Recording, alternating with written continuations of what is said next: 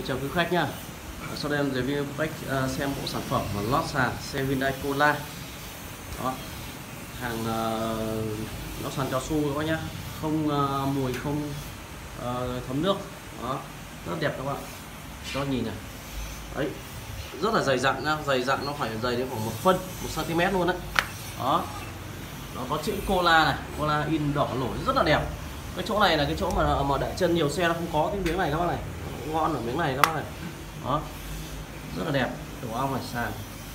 Đó cái này xe là nhìn cực kỳ là chắc chắn dày dặn các bác nha đằng sau đây. Đấy, trước này tổ ong đây. Cái này các bác rất tiện lợi khi ví dụ là chị bẩn hay các bác có thể lôi ra ngoài các bác rửa xịt nước cái là hết ngay. Không bị động nước. Bị sao cả? Đấy. Dẫm đến rất là êm. Êm các bác nhé. Nhìn này êm êm rất là êm. Địa chỉ bên em 14 Đồng Nhân các bác nhá. Mua hàng cứ liên hệ bên em nhá. Bên em nhận ship hàng toàn quốc nhá. Xin chào quý khách.